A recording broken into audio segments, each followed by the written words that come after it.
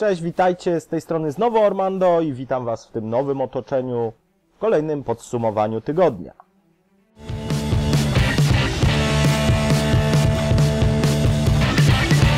Pigułę zaczniemy niestety od smutnej wiadomości, a mianowicie z naszego świata odszedł Stanisław Mikulski, który miał 85 lat. Po pobycie w szpitalu o śmierci aktora poinformowano w czwartek. Szkoda, głównie kojarzony z roli Hansa Klossa, oczywiście w serialu Stawka Większa niż Życie. Mm, Natomiast występował też chociażby u Andrzeja Wajdy w filmie Kanał, także no nie należy go tylko i wyłącznie z tym Hansem Klossem kojarzyć. Jednak zawsze w sercach, myślę, wielu Polaków, i tych młodszych, i tych starszych, będzie on znany z roli Hansa Klossa. Ten klos, Co ten klos? on jest!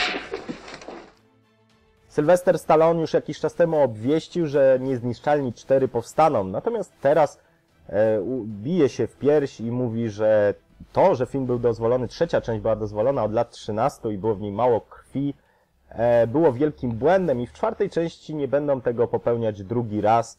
E, w związku z bardzo słabymi wynikami w box office trzeciej części Sly postanowił, że też uśmierci któregoś z niezniszczalnych w końcu Szczerze wam powiem, niech po prostu zrobi dobry film. Czy to będzie w kategorii PEGI 13, czy 16, czy 27.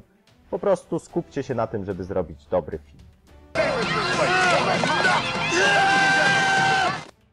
Tydzień, a właściwie dzień bez newsów o Gwiezdnych Wojnach byłby tygodniem, czy też dniem straconym.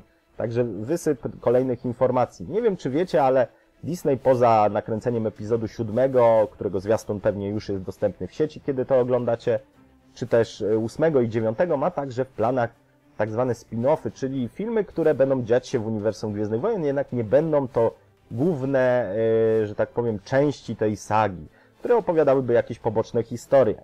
Jedna z plotek niesie, że pierwszym takim filmiem, filmem miałby być e, film a propos grupy, grup, grupki łowców nagród.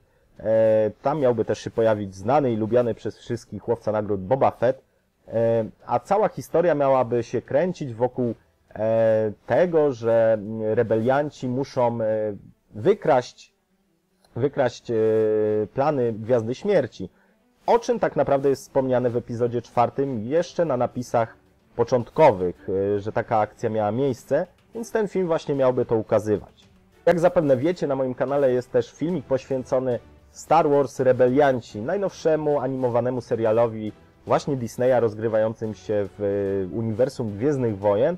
I Disney e, już zdradza, że mm, kiedy ten serial może się zakończyć i że w 2017 roku, w przełomie 2017-18 najprawdopodobniej poznamy nowy serial e, ze świata Gwiezdnych Wojen, który miałby się już rozgrywać w czasie właśnie, kiedy odbywa się epizod 7, 8 i 9.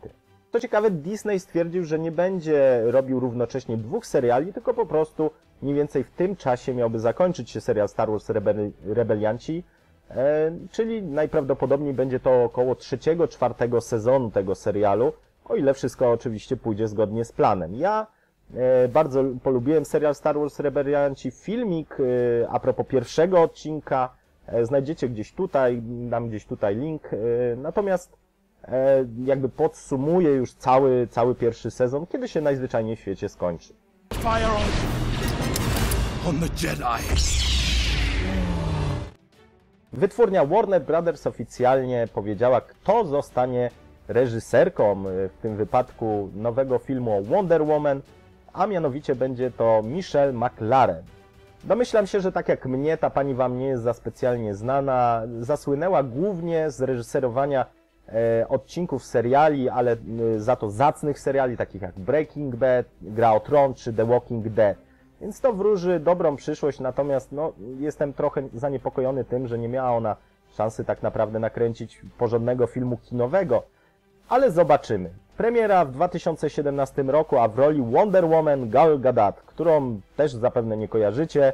Możecie tylko i wyłącznie ją kojarzyć z e, ostatnich dwóch odcinków serii Szybcy i Wściekli. Zobaczymy.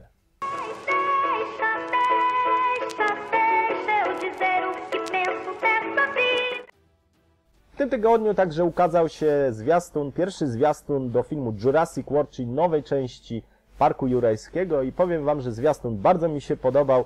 Nie chciałbym się natomiast na jego temat teraz rozwijać, po prostu kliknijcie sobie link, zobaczcie i napiszcie mi, co o nim sądzicie. Ja bardzo czekam na ten film ze względu na to, że gra w nim Chris Pratt, czyli tak naprawdę dla mnie to jest taki nowy Harrison Ford. Eee, no, role, które, które dobiera, czyli Star-Lord, który był bardzo podobny do Hanna Solo, a teraz w tym zwiastunie prezentuje się trochę jak taki nowy Indiana Jones.